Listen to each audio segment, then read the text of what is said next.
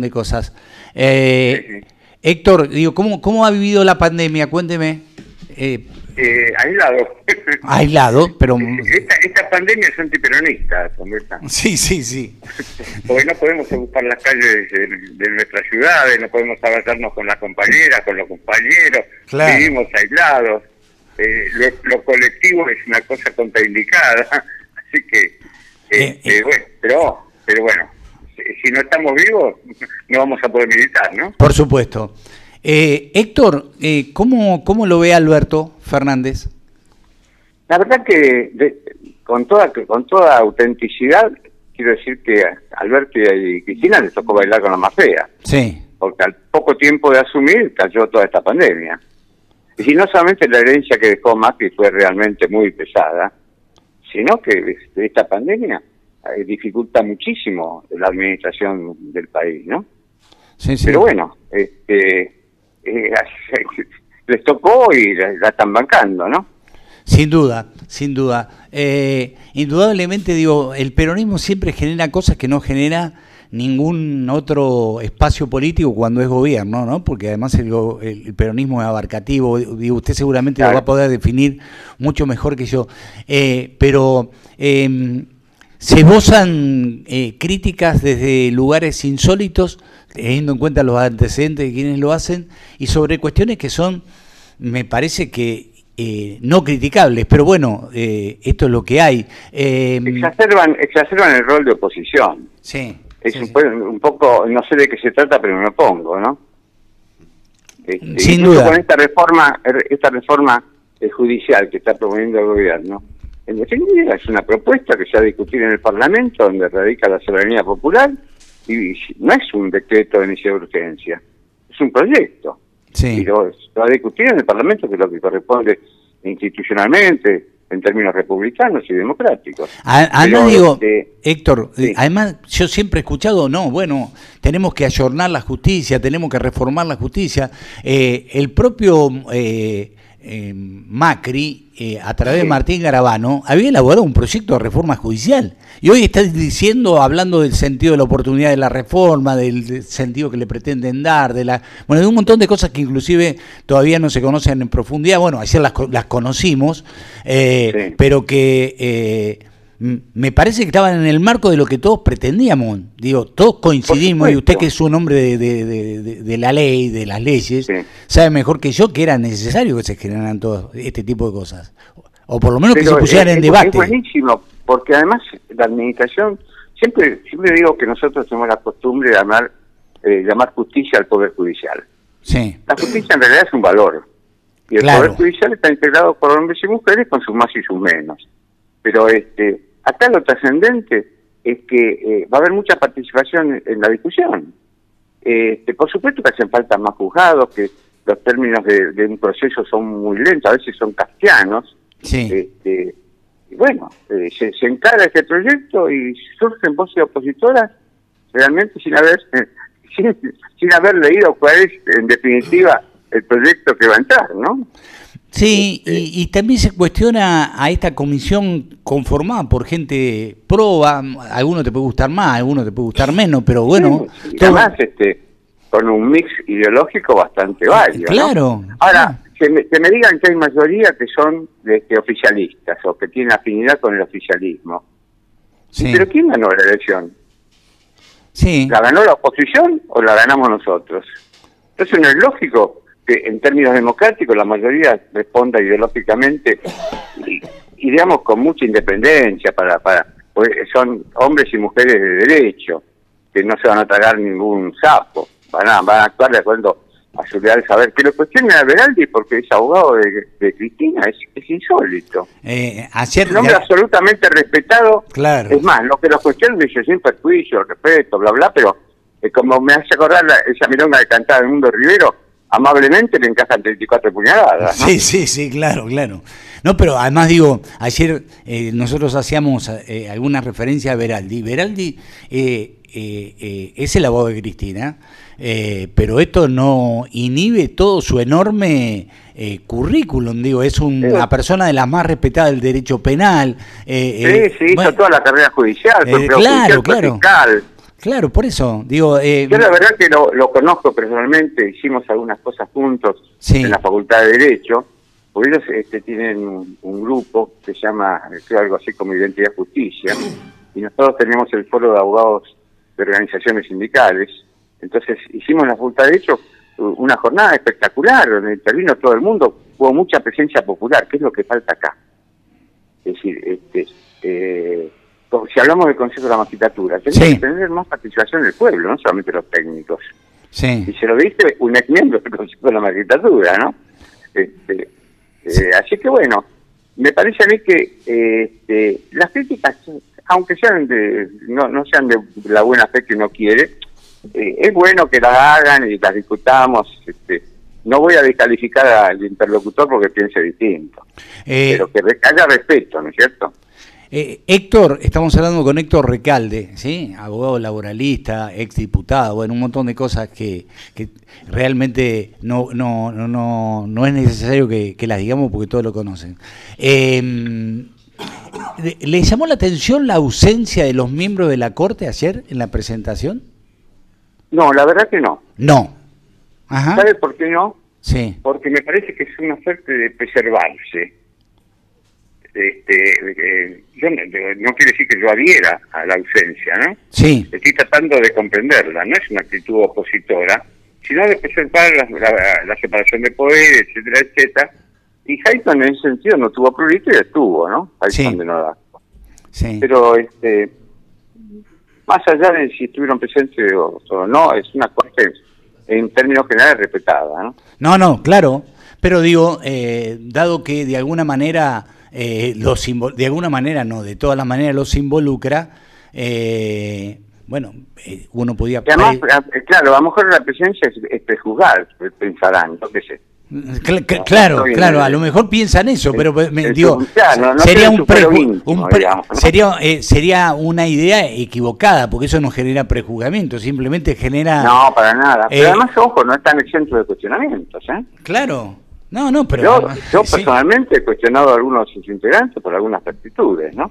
Sin duda, sin duda. Bueno, digo... No, quiero, no quiero hacer nombre propio porque si estuviera del otro lado de la línea, sí, eh, sí lo haría porque me podría contestar. Entonces, claro. pero no. lo he hecho públicamente, ¿no? No, no, pero seguro, sí, lo ha hecho públicamente y además todos más o menos conocemos de qué se trata y además conocemos el perfil de cada uno de los integrantes de la Corte, digo, esto eh, lo, sabemos. Bueno, este es el debate que indudablemente está, me parece que eh, lo estábamos de alguna manera reclamando, ahora que tenemos la posibilidad, lo queremos negar, es raro, pero nosotros los argentinos tenemos eh, esa, esa, esa actitud paradojal eh, sobre muchas cosas. Eh, Héctor, eh, si usted fuera ministro de Trabajo, ¿sí? Dios me libre y me guarde, sí. No, no, no, no. Si usted es uno de los abogados laboralistas yo, yo quisiera que fuera ministro de Trabajo. Le digo más. Pues yo le diría una cosa. Si yo fuera este, presidente, si yo fuera presidente, si yo fuera presidente, usted sería mi ministro de Trabajo, ¿sí? Bueno, eso está claro, porque ni usted va a ser presidente no, yo bueno. trabajo. No, me, no me mate, la, no, me mate la ilusión tan rápido. No, porque usted, no porque usted lo merezca, sino que a veces hay injusticias en la construcción política. qué hábil contestador se ha transformado con el tiempo, ¿sí? ¿Eh? Y bueno, tantas tantas audiencias he tomado en mi vida. sí, claro. claro. la verdad tengo, yo me recibí en el 17 de octubre de 1961, no sé si está claro, ¿no? Sí. O sea que tengo muchos años de abogado, he tomado audiencias, pero pero agotadoramente, he abogado muchísimos sindicatos, o sea que o sea, tengo mucha práctica. Este, por eso a veces me convierto en un hábil declarante. Seguro. Eh, eh, este, pero siempre digo lo que pienso. ¿eh? Sí, no, eso ninguna duda. Eh, y quiero hacer una crítica. Quiero hacer una crítica. Sí, sí. En los expertos que nombraron, no hay un laboralista laboralista o una laboralista laboralista. Porque la Cogan, que es amiga mía, sí. Eh, eh, su especialidad es el derecho previsional, no. Y además está bien porque tiene una actitud opositora a nuestro gobierno y, la Cogan. Está bien, pero ¿cómo no hay un abogado laboralista o una abogada laboralista? Claro. A veces no lo digo pues este está... Eh, está, está, está pidiendo un puesto, está, pidiendo un lugar. Claro. yo lo que no, lo que no quiero es laburo, ¿verdad? Bueno, ha, ha, trabajado y está trabajando bastante. Digo, no, si fuera ministro de Trabajo, digo, ¿cómo, cómo encararía la pospandemia? Porque tenemos que empezar a pensar en eso, ¿sí? Teniendo en cuenta... Yo creo que hay que, como dicen los chinos, la crisis no solamente es un conflicto, sino es una oportunidad. Sí. Y esto es uno, este, esto, esto que está sufriendo el, el, el país y el mundo, pues una crisis global, la pandemia, es una oportunidad para eh, trabajar sobre la distribución del empleo, por ejemplo, que es un bien escaso. ¿Y cómo se hace? Regulando la jornada de trabajo. Este, yo había propuesto, siendo diputado, muy tímidamente, muy tímidamente, bajar la jornada semanal de 48 horas. Mire, estamos hablando, 48 horas. Hay países que tienen 35 horas semanales. Bajarla a 45. En aquel momento, un estudio de campo que hicimos, eh, eh, yo siempre digo, el derecho al trabajo ni crea ni destruye empleo, es la economía. Y no digo, como diría Bill Clinton, la economía, ¿no? Sí, un adjetivo calificativo. exactamente. Eh, entonces, si uno regula la jornada de trabajo disminuyéndola, como hicimos una propuesta cuando era diputado, de 48 a 45 se podían distribuir entre 200.000 hombres o mujeres sin empleo, distribuir trabajo. Nada más que con esa pequeña reforma. Eh, que hay, hay muchos que en la actualidad y en aquel momento también trabajaban 45 horas semanales, 5 días por semana, 9 horas. Es una jornada habitual en muchos espacios de, trabajo. Este, de eso se trata, de ver cómo aprovechamos la crisis. En este momento seguramente se está trabajando menos horas. Bueno, congelar la, congelar la foto en este sistema horario de trabajo. Y cuando esto se normalice, bueno, algún día se va a normalizar, la pandemia va a pasar, eh, va a haber muchas personas, hombres y mujeres sin empleo, que van a conseguir uno. Sí. Esto es lo que uno tiene que trabajar con la esperanza del futuro, de construir hacia adelante, porque si no vamos a pasar este, eh, llorando amargamente, este, eh, no se construye, ¿no? Aparte de llorar, que es un sentimiento, como diría Saúl Baldini, sí. este, eh, qué vocación, ¿no? Sí. ¿Se acuerda cuando tuvo esa polémica con un respetado expresidente Raúl Alfonsín. Sí. Que, lo oyó, eh, le dijo mantequita y llorón. Sí, sí, sí, sí, sí, Alfonsín le dijo a Gualdini que era un mantequita y llorón. Y le dijo que este, llorar era un le contestó Saúl, llorar es un sentimiento, mentir es un pecado. Esas cosas que uno recuerda después de tantos años de... Le, quiero, le quiero contar, eh, Héctor, que hablo seguido con la viuda, con Maggie, con la viuda de, de Ubaldini. sí, sí, sí. Que, es una, que es una gran militante. Sí, que sí dirigente de jubilados ahora, ¿no? Eh, eh, sí, sí, sí, pero además... una, por lo menos fue. Sí, sí, una militante del, de, del peronismo y bueno, y está siempre adhiriendo a las causas que el peronismo esboza. Eh, algunos han criticado la... Eh, en este país criticamos todo, pero bueno, digo, eh, la, aplicación de las ATP eh, de manera indiscriminada, diciendo que, bueno, esto se tendría que haber entregado a... Eso, eso, eso tuvo un origen cierto. La ATP se la dieron también a Techín cuando se inició. Pero fíjense cómo son las realidades, las efectividades conducentes, y le digo para mostrar mi pluralidad en la cita, ¿no? Este, cuando se pusieron condicionamientos, y uno de los condicionamientos para dar el ATP era que no tuvieran cuentas offshore, se bajaron, entre ellos Techín y otros más. O sea que quedaban un poco al desnudo. Claro. Y después la ATP cumple una función como le cumplieron los repro. Claro. yo hice una autocrítica en el 2009, cuando Cristina dio los repro, y la primera que se lo dio fue a General Motors. Sí. Y General Motors estaba por despedir 500 trabajadores. Hice autocrítica porque esos repros sirvieron para que no solamente no, no destinan 500 eh, trabajadores de General Motors, sino que terminó tomando cerca de mil trabajadores más. Este, es bueno ser autocrítica, no se equivoca. Este, y bueno, eh, yo, en ese sentido siempre he sido un joven rebelde. Acuérdense con la fórmula jubilatoria que, Cristina me decía, pero Héctor, este, lo, que, lo que yo había propuesto realmente era un mix que tenía que ver, había dos sistemas, uno era el REP y otro un sistema de promedio. Sí, sí, sí, me acuerdo, me acuerdo. Y yo dije, bueno, la solución era sencilla, en cada semestre se aplica el que da mejor para, para los trabajadores y punto, ¿no? Sí, sin eh, O sea que, este, con mucho respeto, yo llegué a votar en contra de mi propio bloque, por supuesto que haciendo todos los deberes, hablando con el presidente del bloque, con, con, con, quien tenía que hablar, que era la conducción política, diciendo yo esto no lo puedo, no lo puedo acompañar. Fue una ley de, una bueno, usted, usted siempre ha sido un hombre inquieto, digamos, ¿sí? Por decirlo de alguna la Verdad, la verdad que sí, sí.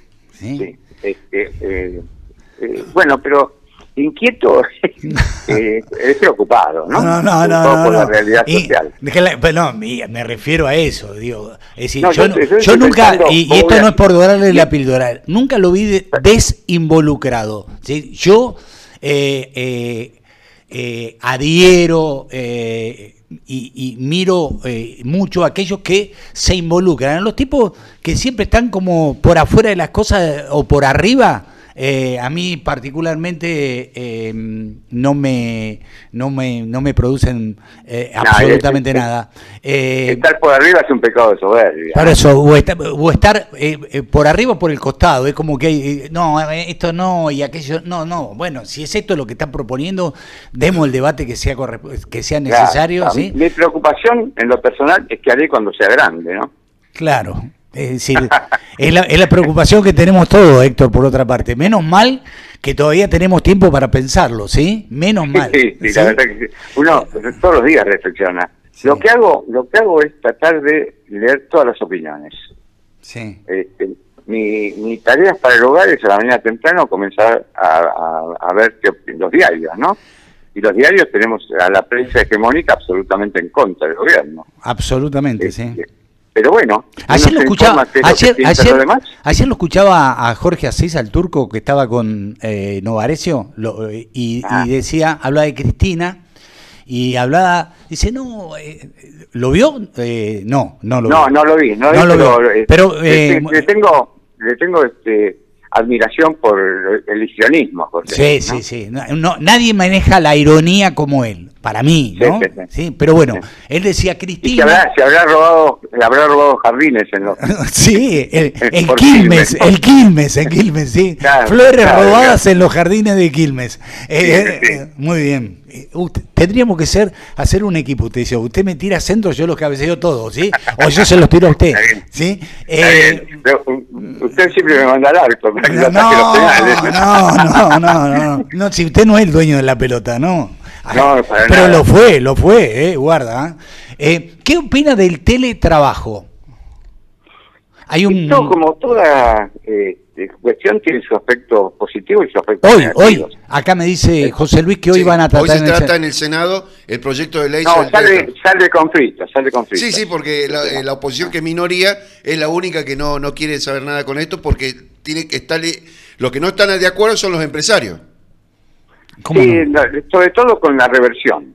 Sí, sí. Eh, te apunta mucho a eso, ¿no? Este, pero digamos que eh, yo hice toda una, una descripción de los aspectos negativos y los aspectos positivos. Sí. El resultado es adelante con los valores, ¿no? Claro. A mí lo que me preocupa es el aislamiento del trabajador. Y esto de mezclar la mesa donde uno este, desayuna, almuerza, cena con, con su familia, su mujer, los hijos, el perro, con el trabajo, no me parece lo mejor. El aislamiento no me gusta. Por eso un mix sería bueno, que parte de, la jornada semanal se haga junto con los compañeros, no aislados del colectivo laboral, y otra parte en su casa. Eh, adhiero, adhiero absolutamente adhiero. Indudablemente hay cosas que llegaron para quedarse, la virtualidad en la enseñanza, esto, pero eh, la presencialidad genera eh, situaciones que son absolutamente superadoras. Por lo tanto, me parece que lo que hay que hacer es un mix. Estoy de acuerdo. Y hay, hay que buscar el equilibrio. Yo que soy tanguero diría que eh, no hay que este, enamorarse eh, o, deslumbrarse con las luces del centro, pero tampoco hay que romper las máquinas, ¿no? Estoy muy de acuerdo con usted, lo cual me lleva a plantearme si eh, eh, no tendré que, que llevarlo a análisis el tema, ¿sí? Héctor, le mando un abrazo inmenso, lo, quiero mucho. Es un, placer, es un placer. Gracias, gracias. gracias y saludos a todos